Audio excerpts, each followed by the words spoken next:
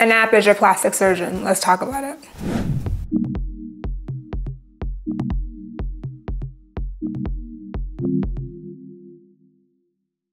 Have you guys heard about this? Have you tried it? Have you seen it? So there are two apps. They're based in China called Soyoung and Gangmei. Please tell me I didn't pronounce that incorrectly. the way they function is there's an algorithm, they're based off an algorithm, and that algorithm is used to tell you what plastic surgeries you need based on a selfie. I downloaded So Young last night just to try it myself out of curiosity and it's completely in Chinese. I did not pass go because I did not want to get myself entangled with the Chinese government and end up in somebody's Guatemalan concentration camps. so side joke that you may not find funny, but I find hella funny. But the idea is kind of fascinating, but mostly scary as shit, excuse my language. WebMD and Google MD have changed the way that most people can and will practice medicine in, in this country, world, what have you.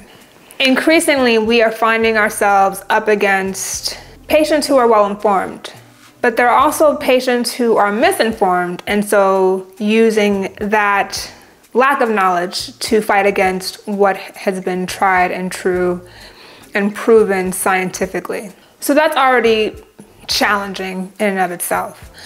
I, as a plastic surgeon, don't have as much of that because most people still don't have a lot of clues about plastic surgery.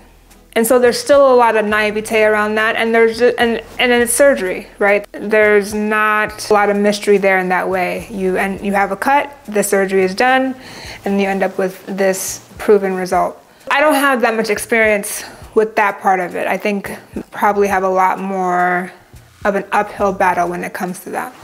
And I've al always said that AI may come and go well, it's coming, it's here. But it will never replace surgeons. It can never replace surgeons. And this may prove me wrong. AI is what it is, right? I think in surgery it can be really helpful. I don't think it'll replace a surgeon, but I think it will enhance what we do.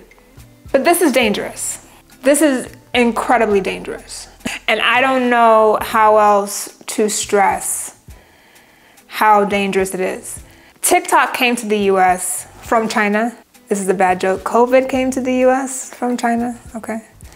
Um, it's not a joke, it's real. And there are so many things that China does that are amazing and wonderful and advanced primarily in the technological realm. China's great for manufacturing. China, anyway, I don't want to look Chinese pe people in government, don't come for me. I'm just a regular black person. I come in peace. But this is dangerous because Imagine a machine, an, an app with no soul. Now here you may stop me and say, do plastic surgeons have souls? I don't, and that's touche. I don't know. Not all of us do, but I know a lot, a lot of plastic surgeons who do. And a lot of plastic surgeons who have limits. And board certification is one of those tests of like, are you ethical, right? Do you practice ethically? I don't know if you know this, but maybe you don't. So a plastic surgeon, before they can become board certified, has to actually spend, I think it's nine months of their first year or two years of practice from July 1st to March 31st the subsequent year, cataloging all the cases they've done in that time frame. And what they catalog is what the patient kind of looked like. So general characteristics about the patient, height, weight, those kinds of things, what surgery was done, and then what was the outcome. If there were complications from that surgery, that has to be cataloged and documented as well, and what was done with those complications. The Plastic Surgery Board will collect this data from each and every person who wants to become a board certified plastic surgeon they will look through the cases and they will decide which ones do they want the plastic surgeon to talk more about and describe in further detail. And so for those five to seven cases, the plastic surgeon then has to get pictures, get all the notes, all the documentation for that patient and give that to the board. Now, the board has the opportunity to actually say, you know what, your itch was so bad, we won't even let you sit down and speak with us. And right there, you fail the exam and you cannot be board certified. The board could say, you did really well.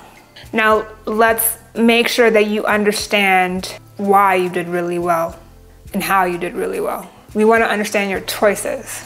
Make sure they're ethical choices, make sure they were your own choices, and depending on not only your results, but also the choices that you made for these particular patients. And they're supposed to be a representation of the choices, the kinds of choices you will make for all of your patients. They will determine are you ethical, are you safe, are you knowledgeable, are you skilled. If they agree that they, those four criteria are met, then you get board certified. This is after already demonstrated that you were knowledgeable to begin with because you took a written exam and passed that as well.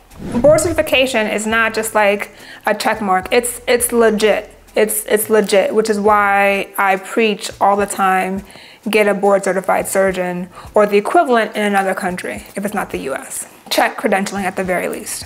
If there's an argument about whether or not plastic surgeons have a soul, I would argue that the plastic surgeons who are board certified definitely have one, and those who aren't, I don't know.